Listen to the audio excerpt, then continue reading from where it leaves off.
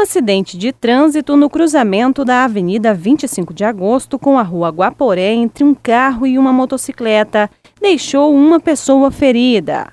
O condutor da moto seguia pela referida avenida quando foi surpreendido pelo motorista do automóvel, que avançou a preferencial. Segundo o condutor do carro, ele não viu o motociclista.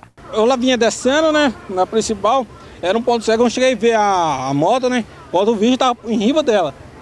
Aí tanto quando estava nem correndo, ó, a distância que eu parei. Não teve como evitar? Não deu, não, não, não dava como evitar. Eu tirei um pouco ainda, tanto que o carro nem. Eu tirei para lá ainda. Com a colisão, o motociclista caiu, sofrendo alguns ferimentos. Ele foi socorrido ao hospital municipal pelo Corpo de Bombeiros. Um jovem que estava na garupa da moto nada sofreu. A polícia militar esteve no local e fez o registro da ocorrência.